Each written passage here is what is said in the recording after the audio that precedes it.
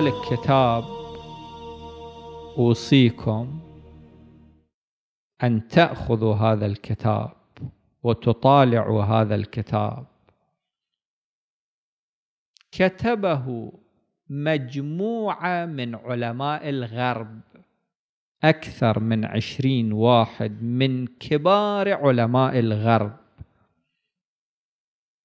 الأساتذة في الجامعات الكبرى كتبوا هذا الكتاب وعرب هذا الكتاب إلى اللغة العربية تحت عنوان الإمام الصادق كما عرفه علماء الغرب. طبعا لا نوافق على كل ما في هذا الكتاب. وهو لا ينظر المؤلفون لا ينظرون إلى الإمام الصادق كإمام. يقولون الشيعة يعتقدون أنه كان اماما مرتبطا بالغيب. ولكن إحنا نعتقد أنه كان رجلا عبقريا من قمم عباقرة البشرية. على كل حال الكتاب عليه مؤاخذات وعليه ملاحظات ولكن مع ذلك كتاب نافع جدا. في هذا الكتاب هنالك كلمة لطيفة. تقول هذه الكلمة لو أن الإمام الصادق بنى بنايات ومعاهد وعمارات. لكان من الممكن القضاء عليها جميعا.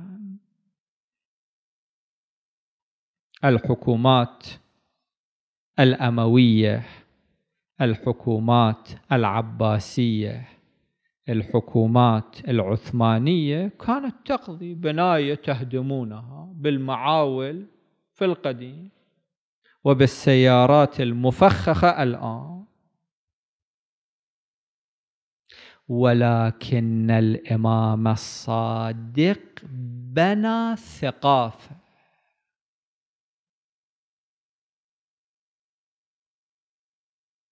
طبعا هذه الثقافة هي الثقافة التي بناها النبي الأعظم صلى الله عليه وآله.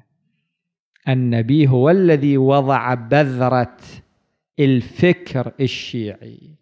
هو الذي قال يا علي أنت وشيعتك هم الفائزون.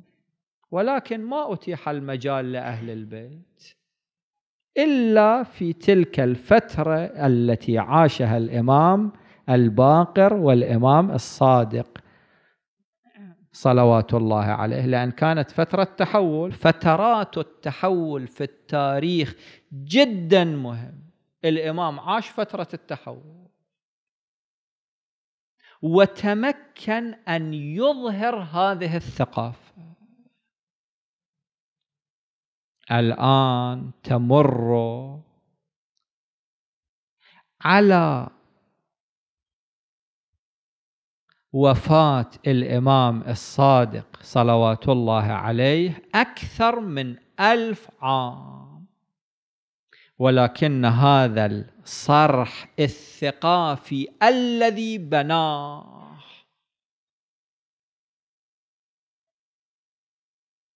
هذا يتحدى الأعاصير. الفكر الشيعي الثقافة الشيعية ثقافة قوية صلبه لا تجدون لها مثيلا في أية أمة أخرى. الحكومات فعلت كل شيء ولكن لم تتمكن أن تقضي على هذه الثقافة.